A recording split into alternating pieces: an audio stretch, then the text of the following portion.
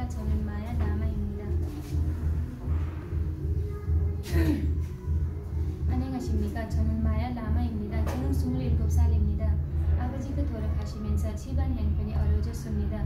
공부를 하고 싶었지만 어머니를 도와야 했습니다.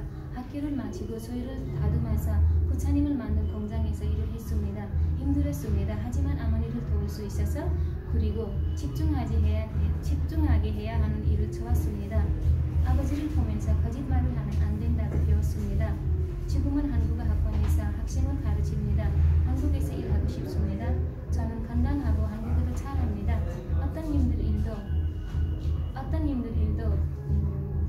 책임감을 갖고 열심히 일하겠습니다.